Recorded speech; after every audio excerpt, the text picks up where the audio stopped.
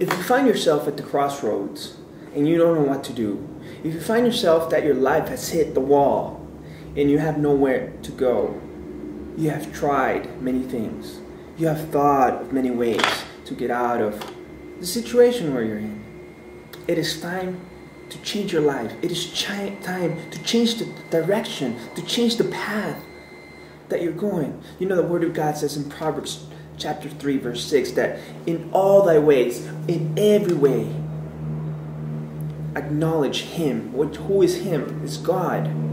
You know, many of us live our lives acknowledging many things our family, our friends, our work, our, our job, our career, but we forget to acknowledge who has given us everything, all of which what we have. So Proverbs chapter 3 says, you know what? Acknowledge Him in everything, and He will direct your path. So if you're lost in your life, if you've come at a crossroad, if you're at a crossroads and you don't know where to go, you don't find a way out, acknowledge God, and He will direct your path. God bless.